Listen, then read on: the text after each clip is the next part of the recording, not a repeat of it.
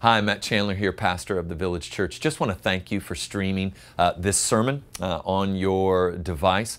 Uh, I, I, wanted to, just before we get going here, uh, just lay before you a deep conviction we have that this video sermon uh, that we've prayed really stirs up your affections for Jesus and shapes you and molds you into the image uh, of the Son um, would just be supplemental to your relationship with the Lord and in no way would replace the church you should be plugged into or the pastor that God has put over your life to shepherd and care for your soul. And so please uh, enjoy the next hour or so uh, of this message. We have prayed that God would use it in a profound way in your life. Blessings.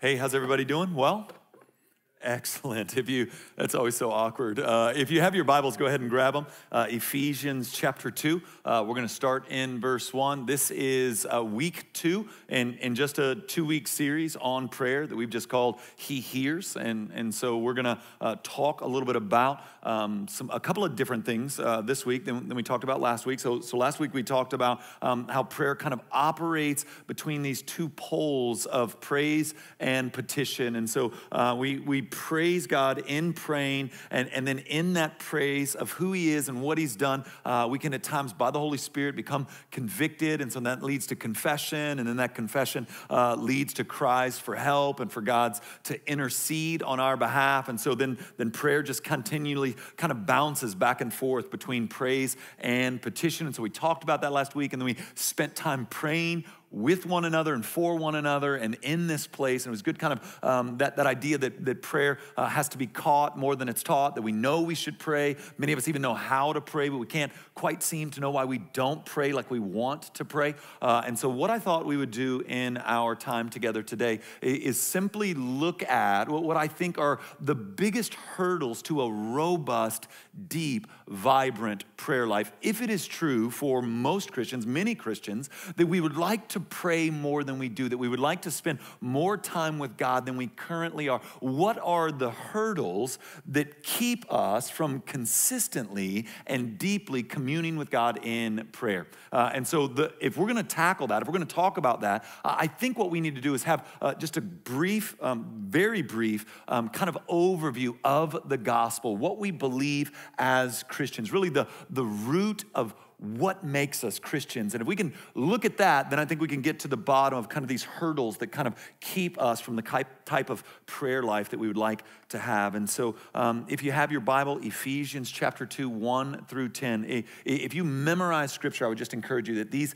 10 verses, and in these 10 verses, is so much uh, of just a clear definition of what the gospel is. Now the, now, the word gospel means good news. And like I said, it is the root of what makes us Christians. Christians, belief in what I'm about to read and in what we're going to briefly talk about is what makes us believers in Christ. Belief in what we're about to read. Ephesians 2, starting in verse 1. First four verses have to do with us, the last six verses have to do with God. So let's start with us. And you were dead in the trespasses and sins in which you once walked following the course of this world, following the prince of the power of the air, the spirit that is now at work in the sons of disobedience, among whom we all once lived in the passion of our flesh carrying out the desires of the body and the mind, and were by nature children of wrath like the rest of mankind. So we can just stop there. Now, this is true, fundamentally true about everyone in this room, that everyone at one time was this. Many of you in here, even now, are still this, but for those of us who are Christians, this is what we once were, it is not what we now are. But if you're not a Christian, have not professed faith in Christ, eh, then, then very much so you're, you're in this. You, you couldn't read this and say you were, but, but you could read this and see where you're currently located. And so let, let's talk about this. The, the first thing that, that he says, and remember, we're just doing a gospel primer here, is that we were dead in our trespasses and sins. Now, now this isn't some sort of kind of ethereal, uh, a gaseous kind of statement. It's not like this. Uh, I, this is on the ground that you and I have been been in active rebellion against God. We, we followed, according to this text, uh, the way of the world, the way that seems right to man, but in the end that leads to death. You, you and I have followed that, and, and we followed the, the prince of the power of the air, maybe unknowingly, but we gladly did it. That, that you and I bought into the lies of the fallen, broken nature of the world. We gave ourselves over to them. So, one of the ways you can see that in our modern culture is every little aspect of restraint or repression is now looked upon as the greatest infringement on your freedom and your happiness, when throughout human history, the opposite has actually been true that restraint and repression has actually led to better life, greater life, richer life, more enjoyment of life than, than no rules. I do what I want, I decide for me. So we bought into that. Every one of us bought into that. We gave ourselves over to that. And, and the Bible says um, that this is sin. You, you and I gave ourselves over. We were born sinful, we gave ourselves over to sin. We have been rebellious against God, and therefore uh, we are objects of God's wrath. So, so everyone in this room at one point was an object of God's wrath. And I know that's so unpopular and widely debated. In fact, even a lot of those who would call themselves um, evangelicals would argue that, that God can't have wrath and he would never be wrath. You see this oftentimes as, you know, uh, God being a God of love. And, and so I've tried to press on this in my 13 years with you now that, that love and wrath coincide.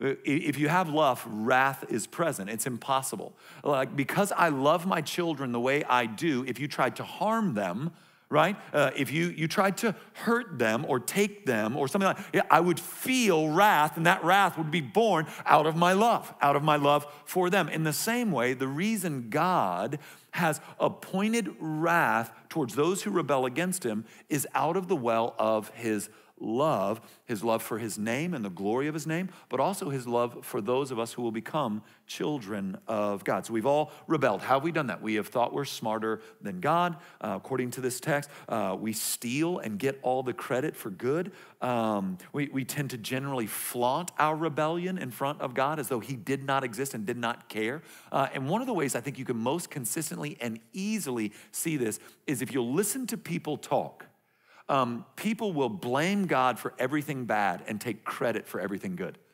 Right? So anytime anything bad happens, they're like, well, if God existed, why would this? But anytime good happens, they're like, nailed that. I did great at that, right? I mean, this is just a clear indication of flaunting rebellion against God. And so the Bible tells us that God has made us objects of his wrath because of that rebellion. Again, everyone in this room, because you're not born a Christian, has at one point in their life been brought forth in iniquity, is a sinner, has rebelled against God, and had God set his face against you, right? This is the gospel. And I know some of you are like, I thought you said good news. Okay, we're, remember, we're just talking about you, right? We're going to get to the good news. Uh, and, and that's, that's where we see now, starting in verse 4, we're going to start hearing about God's response to that. And, and here's God's response to this. Look in verse 4. But God if you write in your Bible, I would circle, highlight, do whatever you do there on those two words. But God, being rich in mercy because of the great love with which he loved us, even when we were dead in our trespasses, made us alive together with Christ. By grace you have been saved, and raised us up with him and seated us with him in the heavenly places in Christ so that in the coming ages he might show the immeasurable riches of his grace in kindness toward us in Christ Jesus. For by grace you have been saved through faith. And this is not your own doing, is the gift of God and not a result of works, so that no one would boast. For we are his workmanship created in Christ Jesus for good works, which God prepared beforehand that we should walk in them. And so, so we see that, that you and I are dead in our trespasses and sins. We are objects of God's wrath. We flaunt our rebellion in front of the most powerful thing in the universe. And God's response to this, even with his wrath present, is if you look to what this says about the character of God, that being rich in mercy and having a great love with which he loved us made us alive in Christ. Like, like how crazy is that moment? That's why the gospel is good news. We're stuck in our rebellion, we're stuck in our sin, we are isolated and far from God. We are by our nature flaunting rebellion against one who can destroy not just the body, but the soul. And yet, God's response is what? Out of mercy and a deep love for us to make us alive together in Christ. And that's where in this phrase in Christ is where life comes from. And, and so just to really just kind of simply, again, this is just a gospel primer. You can talk about these things at length, but our purpose today is to set this so we can get to hurdles of prayerfulness. Um, what we see happening in this exchange, and, and, I talk about this all the time here, so if you're a consistent attender, this will sound uh, like every week here, right? Uh, which is good news that we covered the good news every week, right? And, and so, uh, in, in, the end, here now, Christ comes and he lives a perfect life, the, the life that you could not live, that I could not live. He lives for us, perfectly righteous, never sins, upright in God's eyes. And then he goes to the cross. He is beaten severely, nailed to the cross. And the Bible tells us that the wrath of God, that as you were an object of God's wrath, God takes that wrath and he pours it out on the Son, pours it out on Jesus, and Jesus absorbs that wrath fully until it is all gone, which is why Jesus says, It is finished. And so then, in that marvelous exchange, after the resurrection and the ascension, we are by grace alone, through no act of our own, received by faith alone, through no act of our own, made alive together in Christ. And that's the good news of the gospel. That, that's why we proclaim it and go, no, no, no, there's good news. And so it's so interesting to me that so, so many people like stay on the bad news. I can't believe God is bothered by that. No, no, the good news is no, no, He's made a way. He's come and He's saved. He's opened up a door. He's laid down a bridge. He's invited you into eternal life through grace or by grace through faith. No act of your own. You don't have to clean yourself up. You just get to come. It's an invitation to be washed clean. It's stunning. And then on top of all of this, he, he plans on showing us, according to the text, the immeasurable riches of his grace and his kindness in the ages to come. So, since our God is infinite and eternal, the sheer amount of kindness and riches of his grace are immeasurable. So it's not just in this life that we begin to walk and experience those riches, but it's in the life. It'll take ages, right? Eons to experience the fullness of God. And that's why I don't know if you kind of ever thought about heaven and start thinking about eternity and get a little wigged out about what's actually going to be going on 10,000 years from now. But since God is an inexhaustible well, what this text is trying to communicate is you'll never grow weary of the experience of the fullness of God. Now, that's hard for us to imagine here because we'll get tired of any experience here on earth. But God is so deep, so beautiful. The, the riches that He possesses are so immeasurable that it's going to take the coming ages for us to continue to experience these. In fact, it'll take forever. So, so why, why and, and actually one more thing here that, that I think it's important. Not, not only do you get to experience the immeasurable riches of his kindness and mercy towards you, his grace towards you, but, but then on top of that, the, the Bible says that in his unique wiring you and unique placing of you, you get to be a part of good works that he prepared in advance for you. So, so this is what's great. I think people will read this text and go, okay, now I'm saved, let's do good works. But, but really, it, it appears that the good works have been created and now you'll walk in them.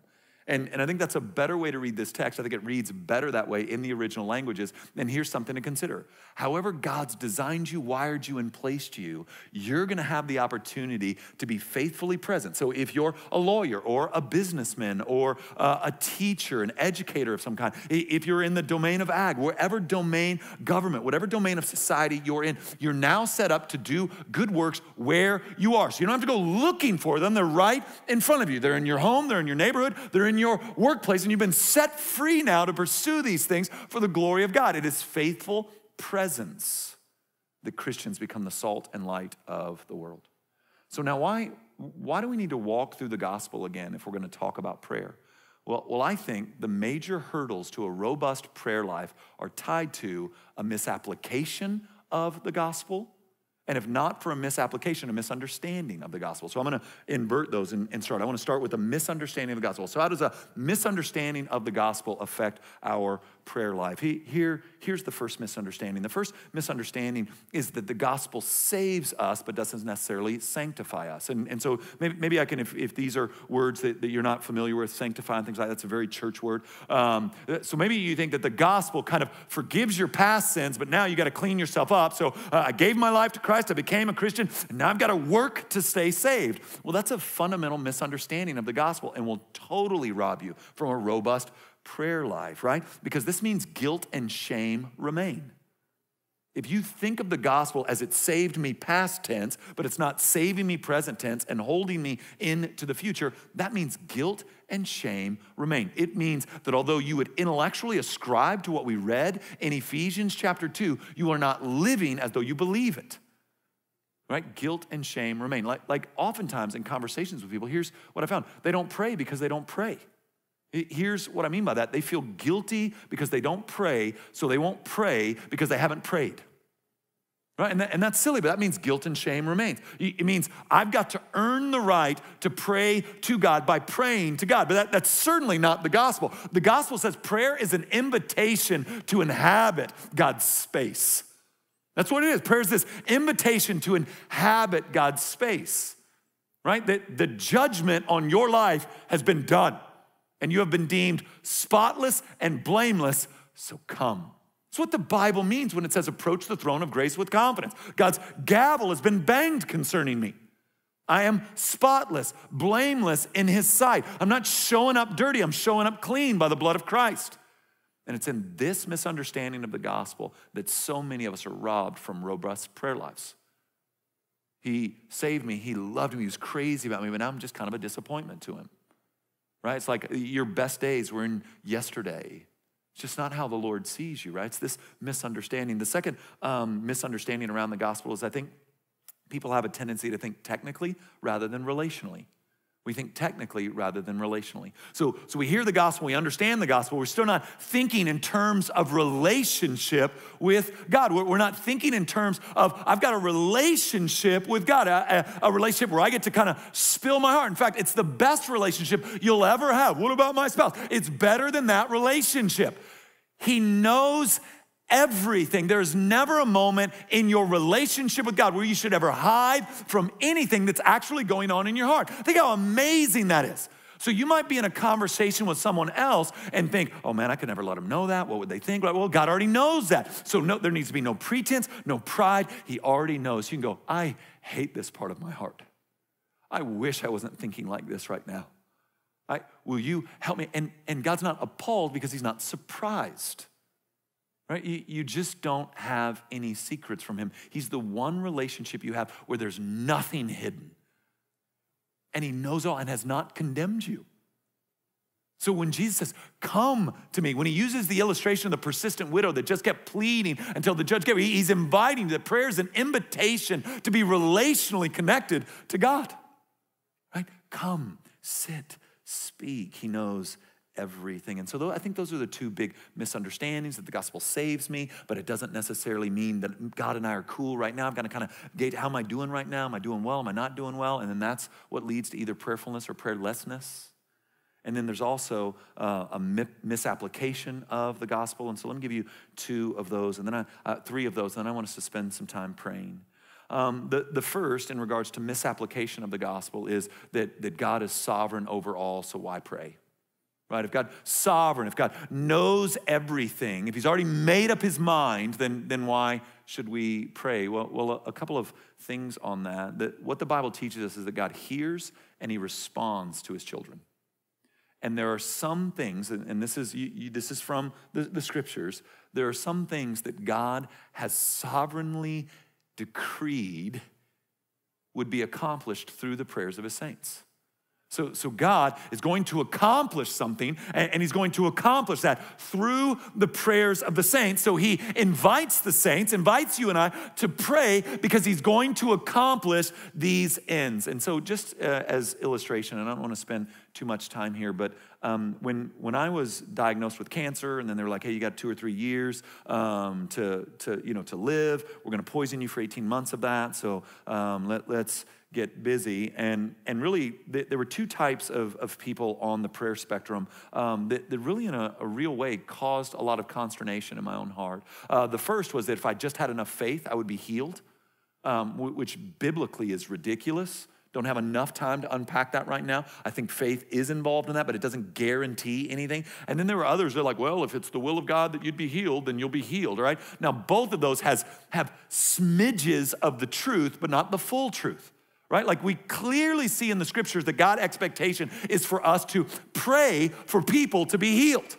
Right? So we want to ask God, God, heal this man, heal this woman, drive out this disease, repair their body, drive, right? We're being called to pray that God would heal people right? And so we, we even said last week in last week's sermon, we talked about your kingdom come, your will be done on earth as it is in heaven. I, I, don't think I'm going against that right now. We want God's will to be done, but we don't know what God's will is regarding um, prayers for healing. So we're going to pray with open hands, knowing God is going to accomplish what God is going to accomplish, but maybe by His grace, He has determined that He's going to heal this person through our prayers. And so we want to beseech Him and bother Him and plead with Him to do that. And and he's never bothered by us bothering him. That's awesome.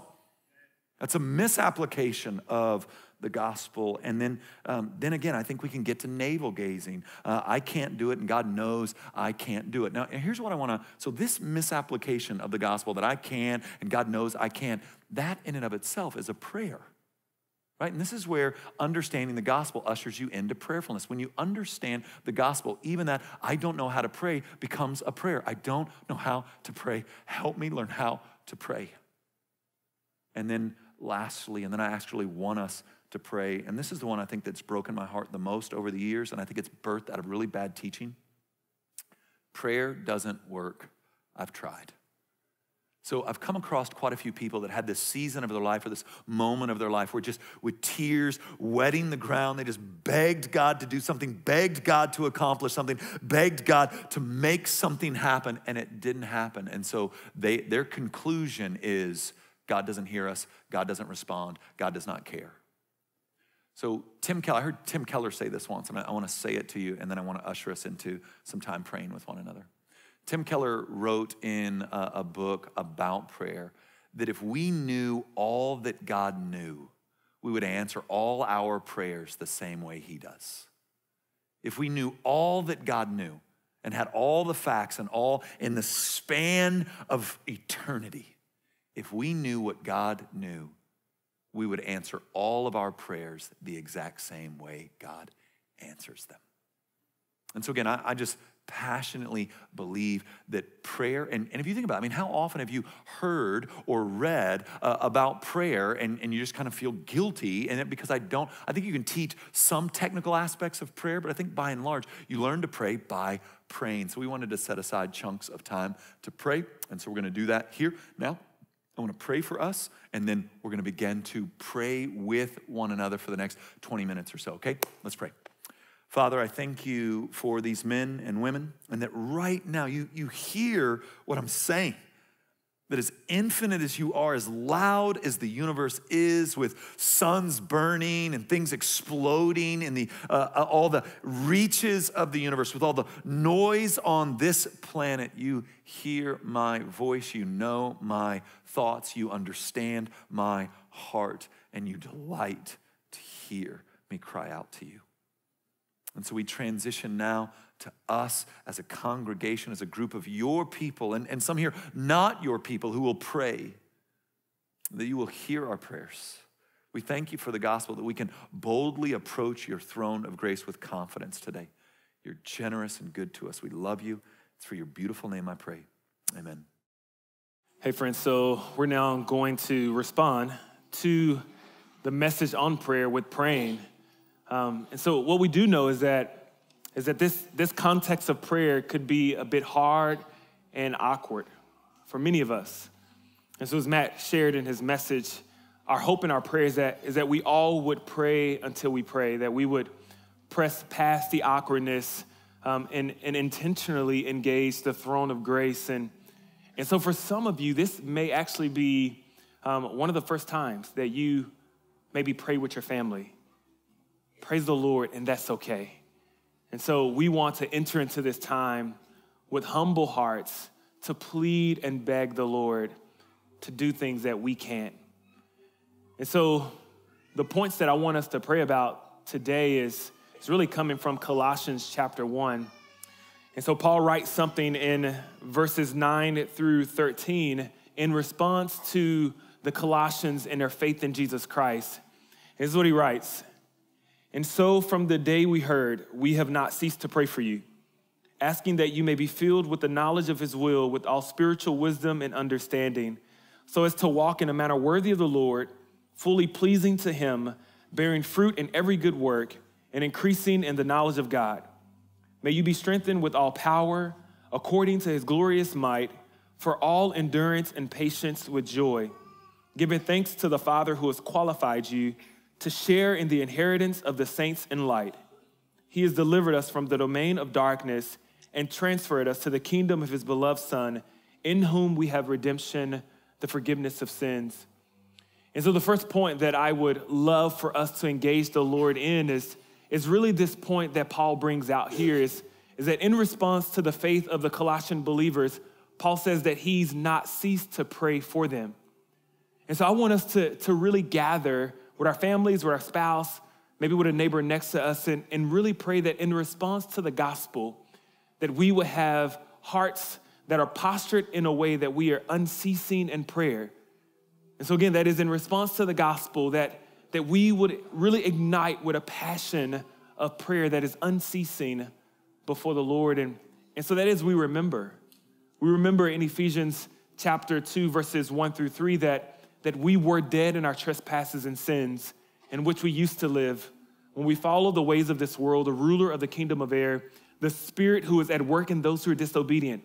All of us lived among them at one time gratifying the cravings of our sinful nature and desiring its thoughts. We were by nature objects of wrath.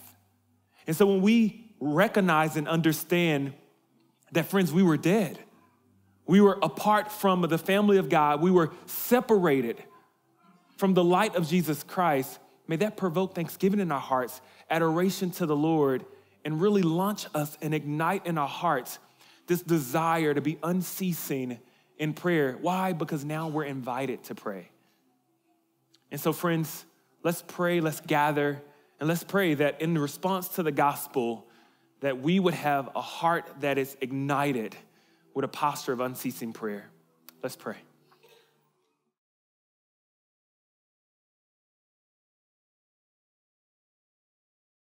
So, Father, I do echo the many prayers that are being prayed right now. And, and Lord, I, I pray God, that in response to the gospel, Lord, that we would have a life that is ignited with a flame and a desire and a passion to have a posture of unceasing prayer. Lord, that as we remember your invitation through your grace and sending your son, Jesus Christ, that our hearts will be thankful. And God, that we would respond in prayer often and more. And so, Holy Spirit of God, would you help us in that? It's in Jesus Christ's name we pray. Amen. And so, one of the second things we see pulled out here in the context of Colossians chapter 1 is that, is that Paul says that, that he prays that they will be filled with the knowledge of God's will, with spiritual wisdom and understanding. And, and so, why? Why is it that Paul would ask for them to be filled with God's will, with all spiritual wisdom and understanding? Well, the reason why is because that which we have been delivered from is also what we still currently wrestle with. And so, as we have been delivered out of darkness, we have been freed from the bondage of sin, we still wrestle. We still wrestle with the flesh. We still wrestle with desires that are contrary to the spirit. And, and so, friends, we need the wisdom of God, spiritual wisdom and understanding to discern the ways of the Lord.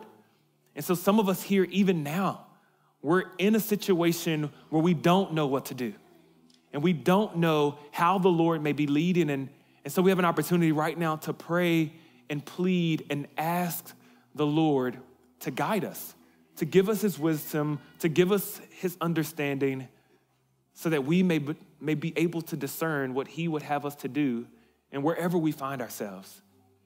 And so, friends, let's pray for that. Let's pray that the Lord would, would really allow us to know his will, to have spiritual wisdom and understanding in order that we may navigate well throughout this life that we live. Let's pray.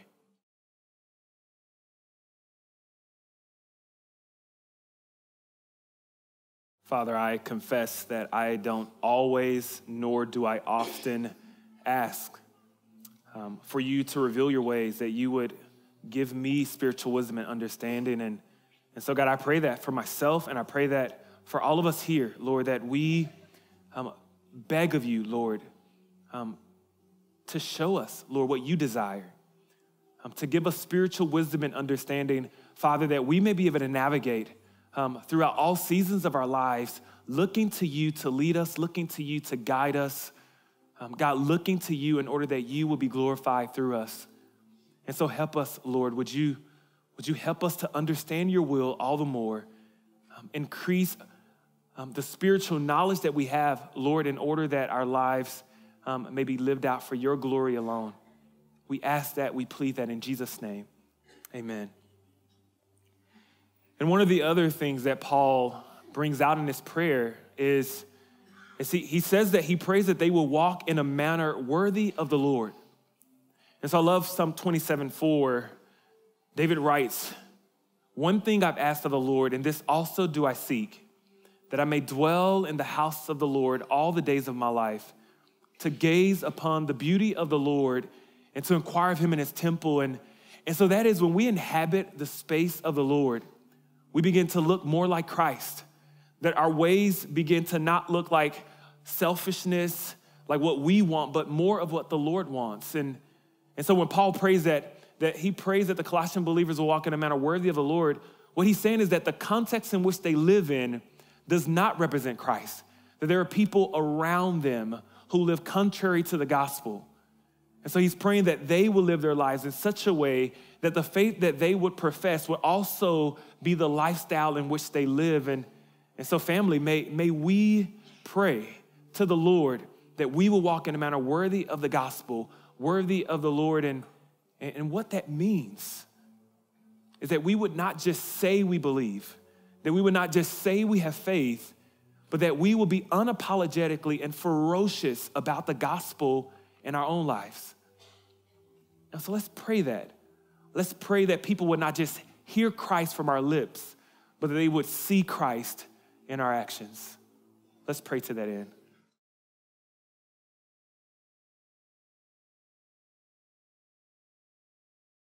Father, we do pray that we will walk in a manner worthy of the Lord. God, that our lives would echo, God, the message that we profess, the gospel. Father, would you help us to live our lives in such a way, God, to, to where the message that we claim to be true, that we profess, um, God, would also be the way in which we live our lives. And so, God, would you reveal to us, Lord, opportunities where we may press forward, um, God, to speak truth to share the gospel in dark situations, um, and God to exude, Lord, the fruit of the Spirit. So we ask that, we plead that, Lord, that, that we would not just say we believe, but that God, our actions and what we do and what we think, um, God will represent the faith that we hold to in Jesus Christ. It's in Jesus' name we pray. Amen. And then lastly, Paul would, would then encourage and pray for the Colossian believers um, that he would pray for power and strength, um, for endurance and patience. And, and so, if I was to ask all of you here, how many of you need the power of God to sustain you when you're weak? Many of you would say, Amen. Yeah. And if I was to ask you, how many of you really need the strength of the Lord? When you find yourselves in, in seasons of life where you're broken, where you're wounded, and where you're weak. Many of you would say, Amen, I need that. And if I was to ask you, how many of you need endurance and patience Because sometimes you desire and you want to give up because life gets hard.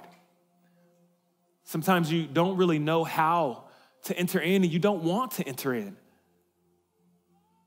Many of you will say, Yes, and amen. I need that. And, and so, friends, we want to pray now, lastly, that, that the Lord would give us his power, that he would give us strength, that he would give us endurance and patience. And, and his word is true when he when Paul writes in Ephesians 3:20, he says, Now to him who is able to do far more than we can ever ask or think, according to his power that's at work within us.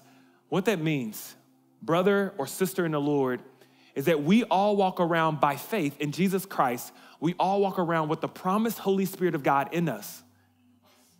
A power that can do far more than whatever we could ask or think.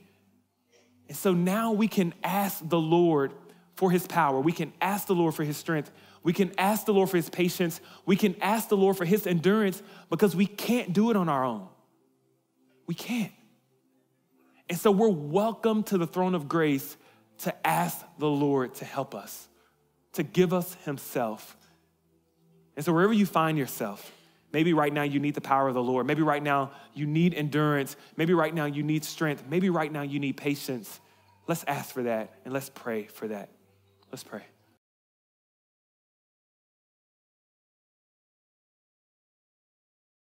Father, we need more of you. God, we ask for your power. God, we ask for your strength. Help us to endure with patience, God, that the Holy Spirit of God would permeate from us, Lord, that, that we will be guided by your power, that we will lean on your strength, that we would endure because it's you helping us to endure. And Lord, we need patience, God, a fruit of the Spirit. God, we ask for that, Lord. Give that to us, Father, we pray.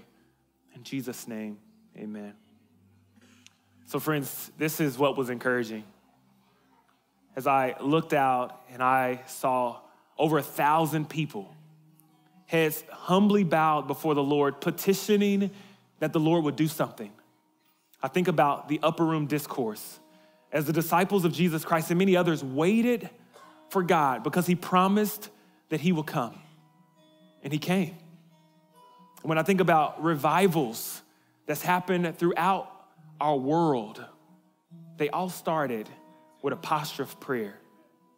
And so may today not be the only day that we linger in prayer, but as we're driving, let's pray.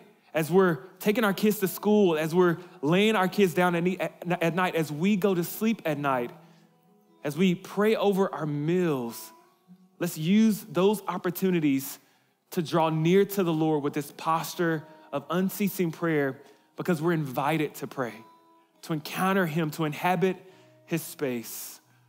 Amen. So let's stand and let's continue to celebrate the Lord in worship.